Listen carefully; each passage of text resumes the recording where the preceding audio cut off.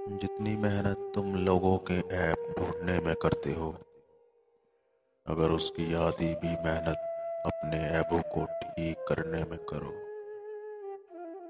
तो ज़िंदगी सबर जाए